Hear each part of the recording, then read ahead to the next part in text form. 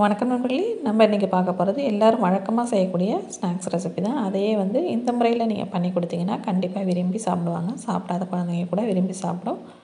இப்போ அதுக்கு ஒரு பவுலில் அச்சு வெள்ளம் ஒரு ரெண்டு அச்சு எடுத்துகிட்டு கொஞ்சமாக தண்ணி சேர்த்து ஸ்டவ்வை ஆன் பண்ணிவிட்டு இதை நல்லா சூடு பண்ணி கரைச்சிக்கலாம். இது சூடாகி கரைஞ்சி வந்துட்டு இருக்கட்டும். இப்போ வேறு ஒரு பவுலில் இந்த கப்பால் ஒரு கப் அளவுக்கு அவல் சேர்த்துட்றேன் இந்த அவலை வந்து தண்ணி சேர்த்து நல்லா ரெண்டு முறை கலைஞ்சி ஊற்றிடலாம் இந்த நான் எடுத்துக்கூடிய அளவு பார்த்திங்கன்னா ஒரு நாலு பேர் வந்து சாப்பிட்லாம். ஒரு கப் அளவுக்கு நாலு பேர் ஈவினிங் ஸ்நாக்ஸாக சாப்பிட்லாம். இது நல்லா கலைஞ்சி ரெண்டு வாட்டி நல்லா தண்ணியை ஊற்றிட்டு மறுபடியும் அவலை நம்ம எடுத்து இப்படி வச்சிடலாம். வச்சுட்டு நம்ம அதுக்குள்ளே வெள்ளம் எந்த அளவுக்கு கரைஞ்சிருக்குன்னு பார்க்கலாம். இப்போ வெள்ளம் பார்த்திங்கன்னா நல்லாவே கரைஞ்சி நல்ல ஒரு பிசு பிசுப்பு தன்மை வர அளவுக்கு கரைஞ்சி ரெடியாக இருக்குது இப்போ ஸ்டவ் ஆஃப் பண்ணிவிட்டு இதில் அரை ஸ்பூன் அளவுக்கு ஏலக்காய் பொடி பண்ணதை சேர்த்துட்டு ஒரு மூணு ஸ்பூன் அளவுக்கு தேங்காய் துருவல் சேர்த்துக்கிறேன். தேங்காய் துருவல் நீங்கள் கூடுதலாக வேணாலும் சேர்த்துக்கலாம். அதே போல் தேங்காய் துருவல் நீங்கள் பரிமாறும் போது கூட சேர்க்கலாம்.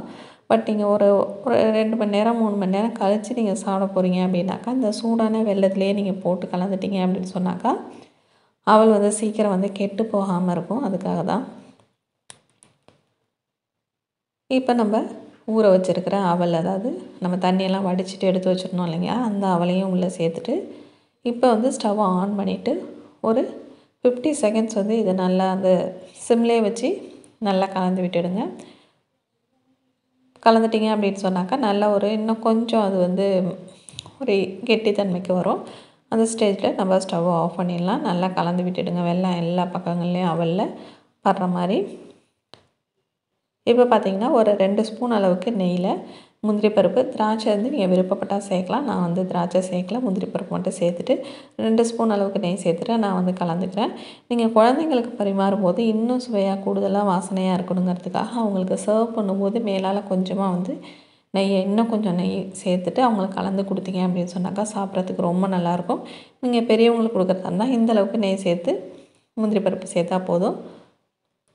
இப்போ கலந்து விட்டுட்டு நீங்கள் பரிமாறினீங்க அப்படின்னு சொன்னாக்கா ஹெல்த்தியான ஒரு ஸ்நாக்ஸ் வந்து ரெடி ஆகிடுச்சு வீடியோ பிடிச்சிருந்தா லைக் பண்ணுங்கள் நம்ம சேனல் இது வரைக்கும் சப்ஸ்கிரைப் இல்லைன்னா மறக்காமல் சப்ஸ்கிரைப் பண்ணி வச்சுக்கோங்க. உங்கள் ஃப்ரெண்ட்ஸ் ரிலேட்டிவ்க்கும் ஷேர் பண்ணி விடுங்க. வேறு ஒரு இன்ட்ரெஸ்டிங்கான வீடியோட உங்களை மீண்டும் சந்திக்கிறேன்.